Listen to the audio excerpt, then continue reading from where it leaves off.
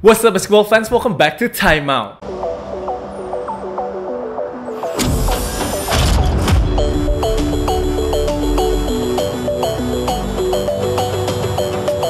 Balik bareng gue Padilla, kita kembali lagi ke Info Basket hari ini edisi 14 Oktober 2020.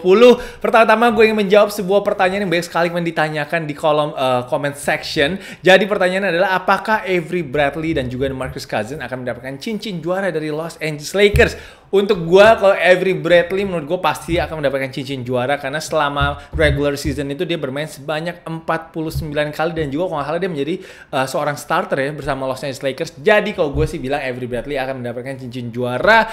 Memang dia tidak bermain di NBA Seeding Games. Gue lupa alasannya apa. Seingat gue mungkin dia nggak setuju kali ya dengan uh, seasonnya NBA dilanjutkan dan juga mungkin dia agak khawatir tentang kesehatannya itu kenapa dia nggak bermain di NBA Seeding Games. Tapi Avery Bradley menurut gue pantas mendapatkan cincin juara dari Los Angeles Angeles Lakers. Oke, untuk DeMarcus Cousins kita tahu DeMarcus Cousins itu kalau nggak salah sebelum preseason ya mengalami cedera ACL sehingga dia tidak pernah satu kali pun uh, bermain untuk Los Angeles Lakers. Jadi dia hanya sebagai supporter aja dari bench Los Angeles Lakers.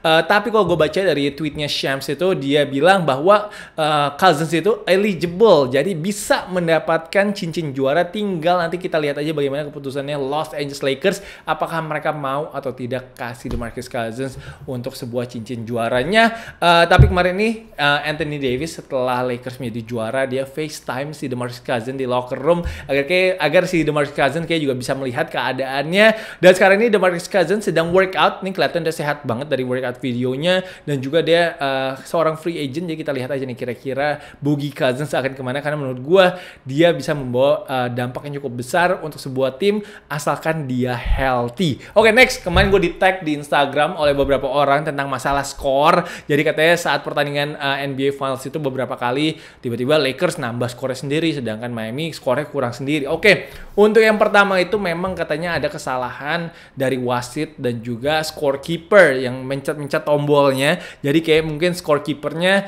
uh, ngasih poinnya kebanyakan untuk Miami Heat itu kenapa harus dikurangin. Uh, jadi mungkin dia kasihnya 3 poin padahal mungkin baru di review di meja bahwa itu tembakannya hanya dua poin itu kenapa skornya jadi berkurang tidak ada masalah curang kurang atau tidaknya. Dan yang game kedua yaitu game ke-6 udah blow out. Sebenarnya juga nggak gitu ngaruh orang ngomongin. Tapi yang pasti itu juga gue yakin pasti ada masalah dengan review uh, salah satunya antara wasit atau scorekeeper salah menaruh skor itu kenapa harus diganti. Jadi guys tidak ada kecurangan di NBA sama sekali. Tenang aja. Dan uh, karena kita ngomongin tentang Yanis tadi dia lucu banget gue lagi pas buka Instagram lalu dia kayak di TikTok ya dia melakukan sebuah postingan di mana dia ngakak banget dia pengen jadi Kostas katanya saat uh, Halloween nanti karena Kostas memiliki cincin juara. This is a great big brother menurut gue dia support banget tentang kesuksesan adiknya. Ini gue yakin akan menjadi motivasi juga untuk Yanis dan Yanis sedang ramai sekali kita tahu uh, semua fans Bucks mungkin sekarang lagi tegang-tegangnya apakah Yanis akan stay atau tidak. Belum ada kejelasan kejelasan sama sekali. Uh, tapi yang pasti Dallas Mavericks katanya juga penasaran banget pengen mencoba untuk mendapatkan Yanis Antetokounmpo. Gila kalau dia dapat Yanis, Dallas gonna be so scary. Tiga pemain bintang Eropa akan main bareng dari Luka Doncic, Kristaps Porzingis, serta lalu masih ada uh, Yanis kalau dia bergabung itu akan seru banget. Itu gue bilang langsung jadi title contender sih kalau ada Yanis masuk Dallas Mavericks. Tapi rapper dari Miami yaitu Rick Ross. Dia bilang wah gue udah mendengar nih. Katanya kalau Yanis itu ingin masuk ke Miami Heat. Kita tahu salary capnya Miami Heat cukup banget untuk menarik Yanis setahu gue jadi tidak menutup kemungkinan juga bahwa Yanis akan pindah ke Miami Heat. Udah banyak banget nih sekarang pasti akan jadi destination untuk free agent karena kita tahu suksesnya Miami Heat kemarin di NBA Finals dengan Jimmy Butler, Goran Dragic, Tyler Hero, Duncan Robinson. Semua pasti seneng banget melihat culture yang dibuild sama Miami Heat. So dia mereka punya salary cap untuk mendatangkan satu bintang lewat free agency. Jadi gue rasa akan banyak sekali bintang yang akan tertarik untuk masuk Miami Heat. Tapi nanti kita pelan-pelan ya ngomongin free agency. Gue tahu banyak banget free agent yang bisa diomongin seperti Anthony Davis. Dia akan ke mana? Tadi kalau Anthony Davis kayak udah hampir pasti ke LA lagi ya nggak mungkin kayak dia pindah. Lalu ada Brandon Ingram most improved player tahun ini. Menarik juga tuh Brandon Ingram kira-kira akan ke tim mana yang cocok ya? Nanti kita kapan-kapan kita pelan-pelan lah kita ngomongin off season NBA masih lama. Katanya sekarang ini mereka targeting untuk mulai 18 Januari ya kok gue nggak salah ya. Jadi awal uh, pertengahan Januari lah mereka akan coba mulai nanti uh, tim-tim kayak sebulan atau dua bulan. Gue lupa tadi gue belum sempat baca banget. Gue baru lihat notifikasinya doang. Uh, jadi agak lama off seasonnya. Jadi kita bisa pelan-pelan lah ngomongin free agency. Lalu juga nanti ngomongin draft prospects. Udah banyak banget yang request. Jujur gue nggak terlalu banyak tahu tentang draft prospects tapi nanti gue butuh kalian semua subscribers gue untuk bantu gue kasih information tentang draft pro prospects tahun ini oke okay. Berita terakhir dari NBA, jadi kemarin ini sebenarnya udah lama ya gue baca di tweet di Twitter, gue nggak tahu ini seberapa bener tapi Uh, katanya presiden bola basketnya Nigeria itu sudah meminta secara spesial kepada Bam Adebayo untuk bermain untuk tim nasional Nigeria. Wah, ini akan a big boost banget. Kita tahu Adebayo adalah salah satu center yang sangat berpotensi sekali di NBA. Kalau dia bisa bermain misalkan di Olimpiade bersama Nigeria, wah itu akan seru juga sih. Jadi kita tunggu aja nanti update-nya apakah Adebayo atau Bam mau atau tidak bermain di uh, tim nasional Nigeria ke depannya. Oke, sekarang kita pindah ke Filipina terlebih dahulu. Uh, kita tahu Liga Filipina PBA sekarang ini sedang menjalankan bubble games ya mereka. Udah hari ketiga ya kemarin ini. Jadi hari ini hari keempat. Uh, banyak sekali big performance gue udah bikin reactionnya beberapa dan kemarin itu yang paling seru gamenya kayaknya sebenarnya sih kalau margin lebih dikit si Rain or Shine menang kok 89 85 dari San Miguel Berman. Tapi kayak game yang lebih seru itu adalah antara Tok and Tex melawan tim Terra Firma Deep. Wah ini main dimenangkan oleh Tok, uh, Tok and Tex dengan skor 112 101 uh, Ray Parks wah ini Ray Parks baru game pertamanya di PBA Bubble setelah ini uh, setelah kemarin tuh dia absen di game pertama karena ada cedera calf kok gue nggak salah.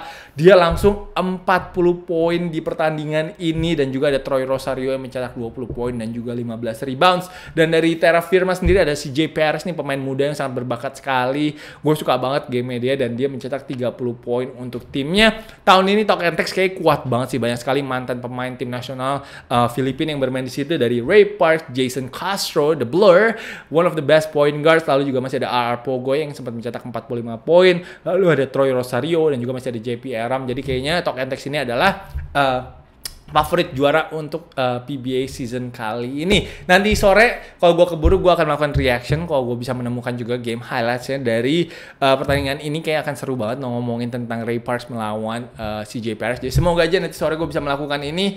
Oke. Okay. Uh, tapi oh ya banyak yang ngomong kenapa kan nggak react dalam bahasa Indonesia Uh, karena gue mencoba untuk cater segmennya basketball talk itu untuk uh, Southeast Asian Southeast Asia audience. Jadi untuk semua yang ada di Singapura, Malaysia, Filipina. Jadi gue mencoba untuk uh, apa ya ngobrol-ngobrol dengan mereka juga uh, mungkin juga mendapatkan informasi lebih juga. Karena gue tahu memang banyak sekali juga uh, subscribers gue dari Filipina, Singapura gitu. Jadi uh, kalau gue bahasa Indonesia terus tuh kadang-kadang juga mungkin kasihan mereka kok pengen nonton nggak ngerti. Dan kenapa nggak bikin subtitles? Subtitles itu bikinnya lama lama guys. Untuk harus harus dipas-pasin mulutnya lalu ketiknya. Itu biasanya bisa ngambil waktu sampai satu hari full hanya untuk uh, bikin subtitle aja. Jadi kalau gue bikin sampai satu hari full tuh kadang-kadang gue udah gak bisa ngapa-ngapain. Sedangkan gue masih ada beberapa pekerjaan yang lain juga. Jadi agak susah guys. Jadi mo mohon maaf uh, kita sama-sama belajar bahasa Inggris aja guys. Gue juga masih belajar bahasa Inggris gue. So itu aja alasan gue kenapa nggak bikin subtitles. Oke okay, dan gue juga nganggap itu kayak gue lagi nonton apa lagi ngajak orang-orang nonton highlights bareng aja, tapi kalian bisa dengerinnya dengerin komentar gue aja. Dan kalian gue bisa baca nanti komentarnya di kolom sectionnya. So, itu aja. Nah, sekarang kita sebelum ke highlights timnas, gue mau kasih lihat ini foto Nuko. Kemarin gue sampai nge-komen juga di Instagram Nuko. Nuk, gila lu gede banget badannya sekarang bisa jadi pindah raga. Man, kayak dia udah fokus banget ya untuk uh, gedein badannya. Ini agak ngeri. Gue penasaran sih pergerakannya uh, nanti gimana tuh. Karena um, upper body-nya kayak berat banget. Dan gue penasaran nanti gimana dengan kekuatan kakinya So Nuke gila men, lu gede banget pada men. Shit itu bener-bener udah kayak Binaraga tapi semoga aja makin jago lah nanti mainnya. So Guys, terakhir ada highlights dari latihannya tim nasional Indonesia kemarin di Bandung. So, shout out to Kuya Raul. Seperti biasa, Raul ini rajin sekali dengan video-videonya. Dan gue liat kayaknya Coach Yobel main. Wah, masih ada dikit nih passing-passing gue liat Coach Yobel. Uh, tapi yang pasti Leicester 3 point mulu di highlights ini. Dan juga ada satu step back yang lumayan nasty dari Vincent kalau nggak salah. Itu juga, wah keren banget sih. So, guys, langsung saja kita melihat highlightsnya tim nasional Indonesia.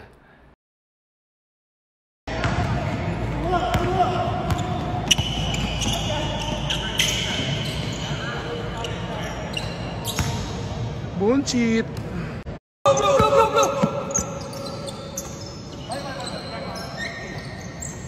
Prosper! That's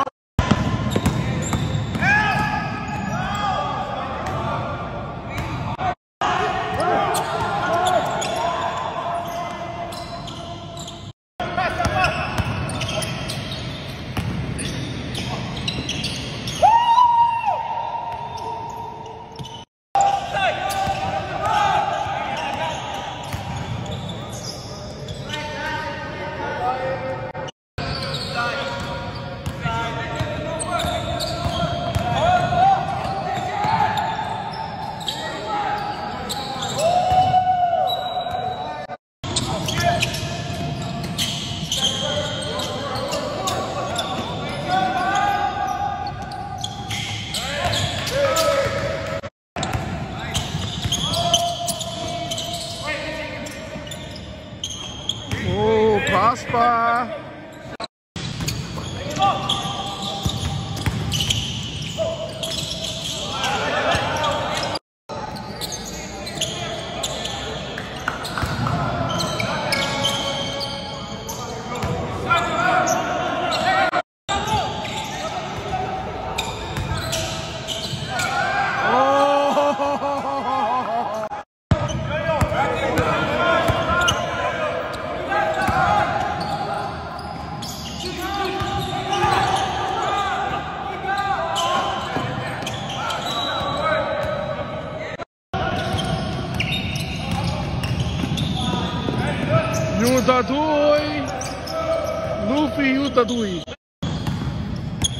The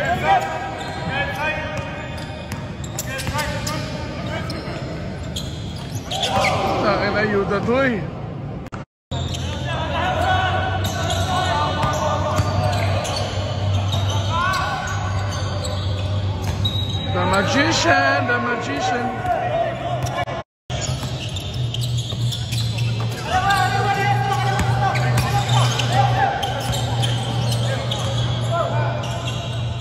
My god, back to back. Oh my god.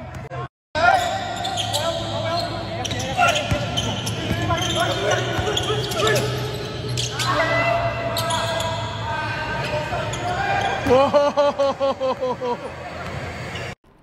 Itulah highlights dari latihan tim nasional Indonesia. Guys, itu aja untuk edisi timeout hari ini. Kalau kalian punya pertanyaan tentang apa pun, kalian bisa tulis aja di comment section di bawah. Kalau memang pertanyaan yang menarik dan gue bisa jawab, siapa tahu besok gue langsung jawab di video timeout edisi besok. So guys, thank you so much for watching. Jangan lupa untuk like, jangan lupa untuk comment, and jangan lupa untuk subscribe. Thank you for watching. I'll see you guys tomorrow. Peace.